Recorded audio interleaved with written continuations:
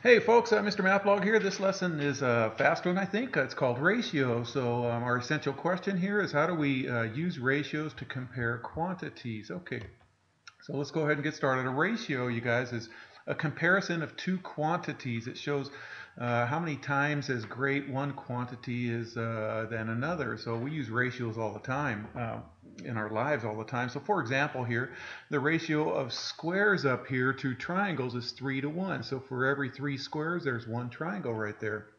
Okay, so we're going to use that ratio to discuss something. So uh, write the ratio of triangles to squares. Okay, so the ratios of triangles to squares, there's one triangle for every three squares. So instead of it being 3 to 1, it's going to be 1 to 3, okay? Write the ratio of triangles to all figures, okay? So for every triangle, there's four figures altogether. So every triangle means there's going to be four figures, so 1 to 4. If the pattern has two triangles, how many squares does it have? Okay, so, so for one triangle, we get three squares. That means if we double that for two triangles, we're going to get double that. So there's going to be six squares. So uh, we'll have six squares. If that pattern, uh, if the pattern has nine squares, how many triangles does it have and how do we know that? Okay, so for every three squares there's going to be a triangle. So if there's going to be nine squares, there's uh, that means there's three sets of uh, three triangles. That I mean three sets of three squares. That means we're going to get um, uh, three triangles. So every nine squares equals uh, well, 9 squares is equal to 3 groups of 3. And since there is one triangle for every group of 3 squares, the pattern's going to have 3 triangles because there's there's um, 9 squares in there. I Hope that makes sense, okay? So uh, write a rule that we can use to find the number of squares that are in the pattern when we know the number of triangles that there are, okay? So then write a rule that we can use to find the number of triangles when we know the number of squares. Okay, well that's easy, guys. So to find the number of squares, we just multiply the triangles by 3. Okay, so if they give us, say they gave us 5 triangles, and that means there's going to be 15 squares right there. And to find the number of triangles, we divide the number of squares by 3. So let's say we had 21 squares, then that means divided by 3, there'd be 7 triangles right there, okay? So there's a rule right there. Write a rule, I'm a number 2 now, write a rule that we can use to find the total number of figures in the pattern when we know the number of triangles. Okay, remember, for every triangle, there's 4 figures in the, in the figure right there. So we just multiply that number of triangles by 4. Okay? All right, so writing ratios, you guys, the number and the ratios are called the terms. So suppose at a class there are five boys for every three girls. Then the ratio of boys to girls is five to three. And the terms are five and three, and the ratio can also be written as follows. Okay, we can write it as five to three, or five boys to three girls, or five to three, just like we see it right there. We can also write it like this, you guys, uh, with a, a colon in between them. This says five to three. Okay, one more way we can do it is a fraction. We've been writing fractions all along. Fractions are just a form of a ratio. So five boys to three girls right there, okay? All right, so a ratio uh, can compare a part to a part or a part to a whole or a whole to a part right there. And what does that mean? I'll show you in, in here.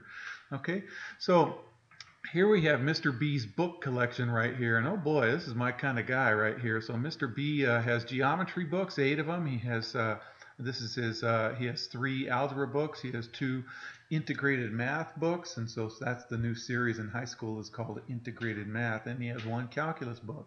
So uh, write uh, the ratio of geometry to algebra in three different ways. Okay, so geometry is 8, algebra is 3 right there. So um, uh, this is part to part, you guys, because the whole would be we'd add them all up for the whole. So that's why this is part to part. So geometry would be uh, 8 to 3. You can write it like this as a fraction, 8 over over 3, okay? Don't write it as 3 over 8 because that would be algebra to geometry.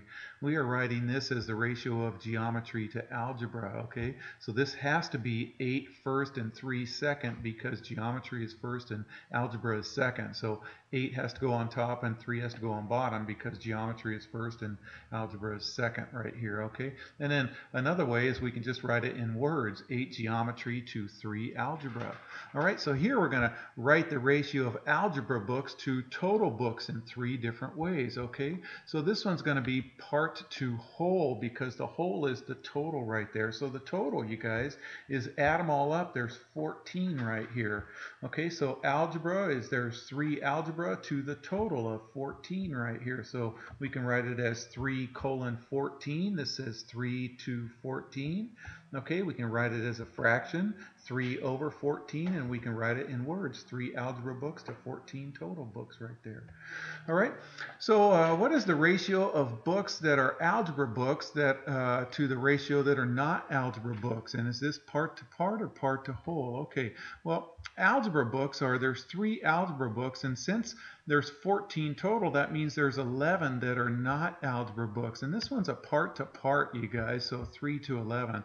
The whole would be all of them all together. So, so we'd, uh, here's uh, the ratio of algebra books to books that are not algebra, 3 to 11 right there, and that's part to part, okay? So write and interpret the ratio of integrated math books to algebra books. Okay, so integrated math books, there's two of them. There's three algebra books right there. So interpret that. So you can write it as any of uh, 2 to 3 or with a colon right here, or you can write the word 2 in there, 2, 2, 3. Okay, or as a fraction, 2 to 3. Or you can say 2 IMs means integrated math. 2 integrated math to 3 algebra books. And so interpreting that means there are two integrated math books for every three algebra books. Okay, so the ratio of students to teachers is 20 to 1. Does the school have more students or teachers? And how do we know? Okay, well, students to teachers, that means the first one is students. That means that's going to be the first number here, 20 right here. So there's more students in there right there. So students uh, uh, have, them, have more there, and, and there's 20 students for every teacher right there. Well, that would be nice. My classes are usually 36 students to 1. So gorp, you guys, you guys ever heard of gorp? Gorp is a trail mix that, uh, that's often used for hikers that hike in the mountains, and it stands for good old uh, raisins and peanuts. So there's all kinds of mixtures of gorp right here. Here's one mixture of gorp. So three cups of raisins, three cups of nuts, one cup of granola, and one cup of oats. Okay, so write a ratio in three different forms. Okay, so nuts to oats. Okay, so nuts is gonna nuts is gonna be three to one right here. So you can write it in all three of these ways. With the colon right here, you can write it with the word two or as a fraction, or you can even say three nuts, uh, three cups of nuts to every one cup of oats. You can say it in words, okay? Total mixture, you guys, total mixture is 3 plus 3 plus 1 plus 1, which is 8. And that has to come first because total mix is first to raisins. And there's 3 cups of raisins. So 8 with a colon 3, 8 to 3, or 8 over 3. Okay, granola to oats. Okay, so this is 1 to 1 right there. So you can write it in all three of those ways right there. Okay, equivalent ratios, you guys. Equivalent ratios are ratios that have the same comparison.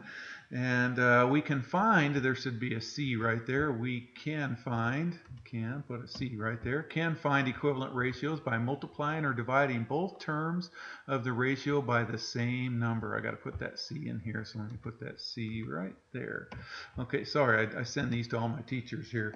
So for example, 2 sevenths is an equivalent ratio to 4 fourteenths because we took 2 sevenths and we multiplied both the top and the bottom by, I'm going to forget about that uh, C right there, by 2 over 2. Okay, so we get 14 over 4. Okay, so also 8 over 24 is an equivalent ratio to 2 over 6 because we divided both the top and bottom by 4 right there. So 8 divided by 4 equals 2, 24 divided by 4 equals 6. We can even make reduce it even more and divide it by 2 over 2. But, but anyways, 8 over 24 is an equivalent ratio to 2 over 6. So a ratio with terms that have no common factors is said to be in simplest form, okay? Like 2 sevenths is in simplest form right here. 2 sixths is not because that can reduce even more to uh, 1 third. All right, so we can make uh, raspberry lemonade by mixing three cups of lemonade with two cups of raspberry juice. I love raspberry lemonade. So how much lemonade and how much raspberry juice do we need to make four times the original recipe? Okay, there's a couple of ways, you guys. One way is we can make a table. So make a table comparing the number of lemonade and raspberry juice needed to make two times, then three times, then four times the original recipe, okay? So here's a table right here. So um, uh, we got lemonade, so three cups to every two cups raspberry juice right there. So we're going to take uh, the lemonade and go times two. So that means we multiply this times two, and then times three, and then times three, and times four, and times four. Okay, let's slide that up right there. All right, so here we go. We're going to multiply three times two and two times two. So there it is doubled right there. Here it is tripled. We're going to do three times three and two times three. Well, three times three is nine, two times three is six. Three times four is 12, and then um, two times four is eight. So let's answer the question. So the last column of the table shows the number of cups of lemonade versus the number of cups of um, uh, raspberry right there. So we need 12 cups of lemonade and 8 cups of raspberry juice. The second way is better, I think, you guys. Since we need uh, four times, then we multiply uh, the top and bottom by this number right here, 4 right here. So write um, uh, the original ratio as a fraction, 3 to 2 right there, and then we just multiply the numerator and denominator by the same number. In this case, we're going to multiply it by 4 because we want to know 4 times. So here it is, times 4 right there. We get 12 over 8. So that tells us right there, to make 4 times the original recipe, we need 12 cups of lemonade and 8 cups of raspberry juice. Just remember, the lemonade was on top, so this top number is going to be our lemonade right there. All right, you guys, I hope that makes sense, and take care.